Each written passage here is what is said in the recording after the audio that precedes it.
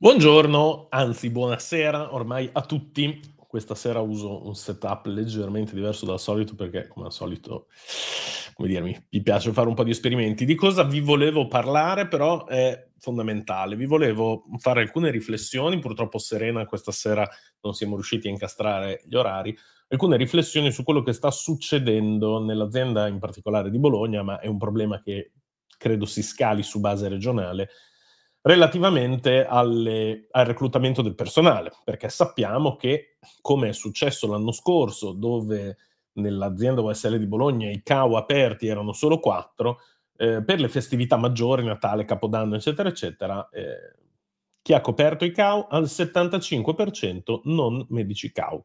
Sono stati coperti da medici dell'emergenza territoriale in grossa parte, e quindi personale che viene da un altro tipo di servizio. Perché? Perché non si trovavano, ovviamente, grazie a quel verbale d'intesa, eh, come dire, estremamente carente, per non dire fatto coi piedi da un punto di vista contrattuale, eh, perché non è neanche un contratto, è un verbale d'intesa, quindi non è un accordo vero e proprio, insomma è una, come dire, un'espressione di intenti, dichiarazioni di intenti, insomma comunque quello che succede è che per le festività, e quest'anno le festività colpiscono eh, ovviamente territori dove i caos sono cresciuti in numero, eh, per le festività non si trova il personale e quindi le aziende cercano in qualche modo di barcamenarsi eh, per riuscire a porre rimedio a questo caos. Perché? Perché se no qual è l'alternativa? Che poi alla fine chi, de- chi, dovrà andare a coprire saranno i dipendenti magari delle cure primarie, no? i cosiddetti ehm, medici di direzione, di organizzazione. Ecco. E quindi dovranno andare loro, come succede peraltro già quando ci sono delle assenze improvvise, a eh, coprire. Quindi che cosa accade? Che l'azienda di Bologna ha, non trovando una quadra con le organizzazioni sindacali, ha tentato una delibera unilaterale. Una delibera unilaterale che eh, non solo però non è che si limita a eh, dare 12 euro l'ora in più per le giornate super festive, Natale, Capodanno e via discorrendo, ma mette anche tutta una serie di altre regole, ma in realtà in queste regole sono nascosti posizioni di coordinamento, funzioni contrattuali, compiti, pagamenti, eccetera, eccetera, che invece sono vera e propria materia di accordo contrattuale. Ora, non è che se non trovi un accordo con le rappresentanze dei professionisti vai avanti da solo, ovviamente, motivo per il quale Snami ieri ha proceduto a diffida, eh, perché ovviamente se non si trova un accordo, evidentemente tra l'altro questo personale non è dipendente, giustamente, del, dell'azienda, se non, se non si trova un accordo un motivo ci sarà. E i motivi, voi sapete che noi li abbiamo declinati da più di un anno a questa parte, però vabbè, mh, mm, io non volevo focalizzarmi solo su questo, su cui parleremo comunque abbondantemente nei prossimi, nei prossimi giorni. Volevo invece farvi notare quello che accade e il famoso fenomeno del mano destra non sa cosa fa la sinistra sempre nell'azienda USL di Bologna, per prendere questa come esempio, ma mh, anche se una delle migliori d'Italia, questo è il livello delle migliori d'Italia. Perché noi diciamo che abbiamo problemi a coprire il pronto soccorso, c'è un continuo devastamento di zibibbi per cercare il personale, giustamente, e vi faccio vedere, vi faccio vedere oggi, prendendo solo dati ufficiali, solo documenti ufficiali, vi faccio vedere perché probabilmente poi non troviamo il personale e ovviamente magari al CAU pensiamo di aumentare giustamente, anche comprensibilmente per i super festivi, la quota da già 42 euro più EMPAM riflesso a carico azienda che viene preso ordinariamente, a cui si aggiungono poi le visite dei eh, residenti fuori regione, diciamo. Quindi non è 42, 42 più XY, aggiungiamo anche 12 euro, quindi 54 più le visite fuori regione. Ok? Questa è la tariffa. Ovviamente, essendo in un ambito convenzionale, voi capite che ci sono già delle tutele, la copertura malattia, la copertura infortunio eh, e tutte quelle che sono le tutele EMPAM connesse no, alla posizione, quindi iscrizione al fondo previdenziale di medicina generale, acquisizione di punteggio e via discorrendo, chi più ne ha più ne metta. Questo nel CAU, ok? Ora andiamo a vedere però la vera emergenza urgenza ospedaliera. Andiamo a vedere quella invece che cosa si fa, cosa fa la stessa azienda in difficoltà per trovare il personale di pronto soccorso, perché poi piange no, le lacrime di coccodrillo perché giustamente non riesce, non riesce poi a trovare personale per pronto soccorso e medicina d'urgenza. E ullalla, ullalla, vi condivido questa beltà, nel senso che se riusciamo a inserirlo, trick e track, vediamo se funge. Eccolo qua, eccolo qua. Questo è il bollettino ufficiale della regione Emilia-Romagna. Adesso vedo se magari riesco a zoomare leggermente. Ok. Bene, vedete, 27 novembre 2024. Unità sanitaria locale di Bologna, bollettino ufficiale della regione. Scusate se io giro la testa dall'altra parte, ma purtroppo è una questione di schermi, di, di come sono inseriti. Avviso di procedura comparativa mediante valutazione dei titoli per l'eventuale conferimento di incarichi individuali al regime di lavoro autonomo, quindi incarichi libero professionali, per le unità operative di pronto soccorso e medicina d'urgenza afferenti al Dipartimento di Emergenza Interaziendale nell'ambito dell'USL di Bologna. Orbene, quali sono i requisiti di ammissione? Così cominciamo a fare, diciamo, la differenza coi CAU. Cittadinanza italiana, godimento dei diritti civili e politici, BBB, cittadini dell'Unione Europea, qua requisiti specifici, laurea in medicina e chirurgia e specializzazione nella disciplina medicina d'emergenza urgenza o disciplina equipollente o affine, secondo i decreti ministeriali BBB, che sapete sono le solite 42 discipline equipollenti affini. Eh, però sono tutte specializzazioni, cioè i medici devono essere specialisti, abilitazione all'esercizio della professione iscrizione all'albo professionale, non essere stato, non aver riportato e via discorrendo. Bene, qual è a questo punto la questione? I rapporti di lavoro autonomo potranno essere stipulati prevedendo le seguenti condizioni. Scusate che intanto metto un non disturbare al telefono. Ehm, devono prevedere le seguenti condizioni. Durata degli incarichi 8 mesi.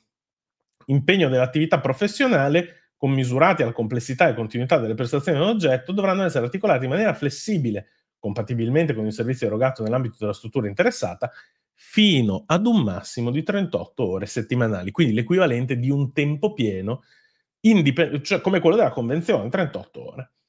Cosa prevede? E qua vi faccio ridere. 85 euro orari lordi, lordi, comprensivi di qualsiasi onere ed IVA, se e quando dovuti, in caso di impegno massimo di 12 ore settimanali. Cioè, se tu specialista lavori da me 12 ore, io ti pago 85 euro, ok? Questi euro comprendono non solo ovviamente la retribuzione, ma anche i contributi che di norma, salvo aliquote particolari, sono al 24%, quindi eh, da qui devi togliere il 24% di pensione, su quello che resta devi togliere l'IRPEF e quindi quello che ti rimane lo vediamo. Ma vabbè, 85 dici, vabbè, se fai 12 ore, se ne fai 13, ovviamente no. Oppure 60 euro lordi comprensivi di qualsiasi onere ed IVA se quando dovuti in caso di impegno settimanale maggiore di 12 ore. Ora, io personalmente, ragazzi, colleghi, cioè non capisco. Cioè, se lavoro di meno mi pagano di più, se decido di dare più ore mi pagano di meno. Però, vabbè, se uno firma un contratto del genere, evidentemente gli starà bene. Io non, non ri- ammetto che fatico a comprendere. Bene, andiamo avanti. Cosa succede? Anzi, provo a metterla così, no? Così mi metto come... Ok, vediamo se no, non me lo fa muovere. Ora, il compenso mensile però, lordo, sarà pari a 6.840 euro omnicomprensivi di eventuali oneri e sarà commisurato all'impegno orario preventivamente concordato col direttore della struttura. Il professionista avere partita IVA, la verifica dell'assolvimento dei compiti, biribibiribiribò. Ora, ora, permettetemi, cioè, non vorrei mettermi a fare i calcoli no, in tv come la Meloni, però se noi diciamo che l'importo massimo complessivo è questo qui di adesso qua forse non lo vedrete nello schermo, però di 6.840 euro, allora facciamo questa cosa, proviamo a parametrarlo alle 38 ore settimanali. Quindi facciamo il calcolo, quello diciamo sbagliato, non, non è metodologicamente correttissimo, però diciamo che se io ho 38 ore a settimana e le settimane nell'anno sono 52, posso più o meno farmi un'idea che faccio 38 per 52, giusto? 38 ore settimanali, 52 settimane in un anno, sono 1976 ore, ok? Diviso 12, questa è la media dei polli, non è così che si calcola realmente l'orario di lavoro per un full time, ma diciamo che possiamo approssimare in modo che possiamo comparare le cose sono 164,66 ore. Ok, quindi 160 arrotondiamo a, per difetto, arrotondiamo per difetto, 164. Ok? Ora, se io prendo la tariffa che loro hanno messo, quindi 6.840, giusto? Diviso per 164, viene fuori, viene fuori che se io lavorassi full time 38 ore settimanali, e non capisco perché di, cioè loro mettono due condizioni, dicono 80, 60 euro l'ora per gli incarichi sopra le 12, però il compenso massimo comunque mh, sarà 6.800, cioè non è che, vabbè, è una cosa un po' strana quello che scrivono in questo bando. Ora, 6.840 diviso 164 fa 41,707. Attenzione, quindi meno del CAU che prende 42 euro ora, più l'EMPAM a carico azienda, qua è l'EMPAM te lo devi pagare tu, quindi da qua devi togliere il 24% di EMPAM, là almeno lo aggiungi, no?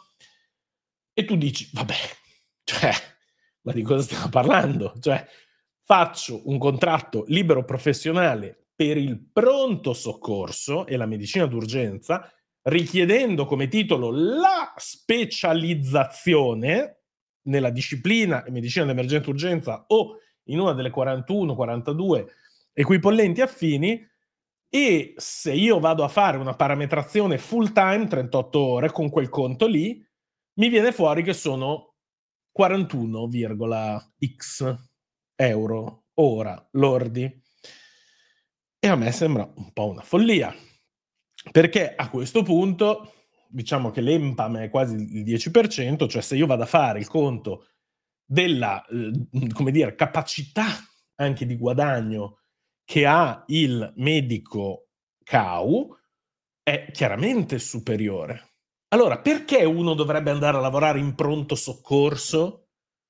Perché uno dovrebbe prendere il contratto libero professionale in pronto soccorso se gli conviene il caos sotto tutti i profili, perché non c'è solo quello economico, c'è anche quello dei punteggi, c'è anche quello delle graduatorie, c'è anche quello delle tutele di maternità, di, insomma, tutte quelle che sono le tutele connesse al fondo conve- della convenzione, fondo EMPAM della convenzione. Voi capite che questa cosa a me lascia assolutamente basito. Poi ovviamente adesso non voglio eh, tediare troppo, ma ci sono delle altre perle qua nel, nel bando libero professionale dove si dice, per esempio, che se tu a un certo punto fai il concorso da dipendente, devi essere subito disponibile a diventare dipendente, sbattere i tacchetti, eccetera, eccetera. Quindi cose che io rimango perplesso.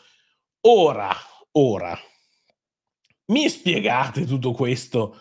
Come si concilia? Cioè, se io ho un problema nell'emergenza, urgenza vera, nel pronto soccorso nei punti primo intervento, per quale stracavolo di motivo vado a emettere dei bandi libero professionali di questo genere qua? Cioè, è una cosa che io ritengo inconcepibile, anche perché, voglio dire, sappiamo benissimo quanto costa un contratto di lavoro dipendente subordinato da dirigente medico di primo livello e, e via discorrendo. Ma se io faccio 6.840 per... Facciamo che siano 12 mesi, ma non sono 12 mesi, perché poi se uno, uno ce l'avrà un mese di ferie, quindi 11 mesi, sono 75.240 che però sono omnicomprensivi, non c'è il TFR, non c'è la tredicesima, non, c'è, non ci sono la malattia, cioè devi pagarti tutto tu. Quindi par- paradossalmente paghi questo contratto cioè l'azienda sanitaria spende meno con questo contratto sperando di prendere del personale in pronto soccorso. Non lo prenderà mai, non lo prenderà mai.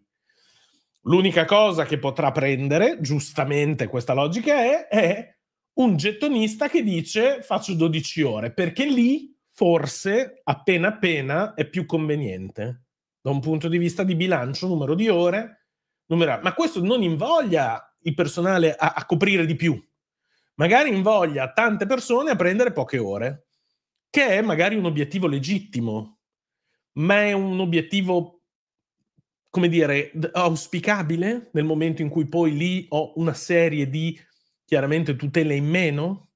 Allora, ma per quale motivo non si possono, per esempio, pubblicare le ore di specialistica ambulatoriale per medicina d'emergenza-urgenza, che ovviamente anche quelle sono un po' tirate, far, però esistono e quindi si potrebbero utilizzare. Lì hai una convenzione, lì hai tutte le caratteristiche che servono per coprire. Per quale motivo non si vogliono inserire? Forse perché mi viene da pensare viene meno anche lì il vincolo di subordinazione, cioè ti troveresti con professionisti con un contratto strutturato che però non sbattono i tacchetti al funzionario o al direttore di turno.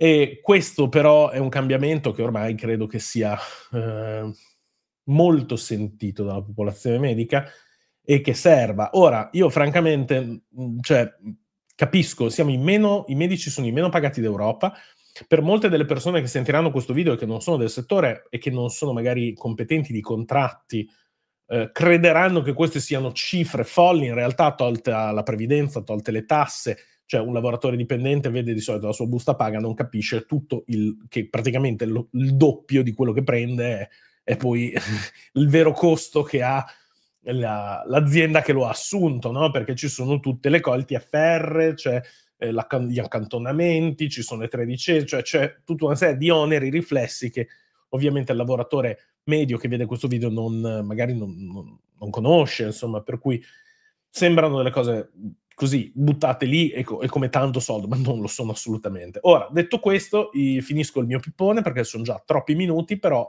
mi pareva opportuno rendervi edotti di questa cosa e continueremo poi mh, prossimamente anche con Serena a discuterne. Grazie e a presto.